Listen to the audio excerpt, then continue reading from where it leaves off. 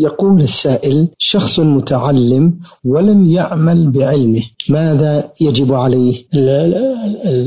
المتعلم العلم الشرعي يعمل بعلمه وإلا فإنه يصبح علمه حجة عليه ويعذب يوم القيامة لأن من أول من تسعر بهم النار يوم القيامة عالم لا يعمل بعلمه والعلم إنما هو وسيلة للعمل ليس هو الغاية بل هو الوسيلة إلى العمل العلم إنما يتعلم لأجل العمل ولا يكون العلم نافعا لصاحبه إلا إذا صحبه العمل. فالعلم والعمل مقترنان والعالم الذي لا يعمل بعلمه عليه وعيد شديد. قال الله سبحانه وتعالى في سورة الفاتحة اهدنا الصراط المستقيم صراط الذين أنعمت عليهم غير المغضوب عليهم ولا الضالين. والمغضوب عليهم هم العلماء الذين لا يعملون بعلمه. استحقوا الغضب من الله لأنهم عصوا الله على بصيره. وخالفوا أمره ونهيه وهم يعلمون. الله تعالى عاب على اليهود وأنكر عليهم أنهم لا يعملون بعلمه. قال كأنهم لا يعلمون ويناديهم يا أهل الكتاب لما؟ يقول سبحانه وتعالى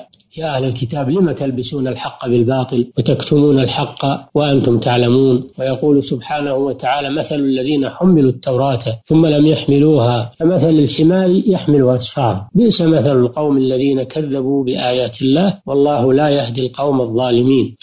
ويقول سبحانه وتعالى أتأمرون الناس بالبر وتنسون أنفسكم وأنتم تتلون الكتاب أفلا تعقلون؟ ويقول سبحانه وتعالى يا أيها الذين آمنوا لم تقولون ما لا تفعلون؟ كبر مقتا عند الله أن تقولوا ما لا تفعلون. والأدلة من الآيات ومن الأحاديث في هذا كثيرة جدا. نعم. جزاكم الله خيرا فضيلة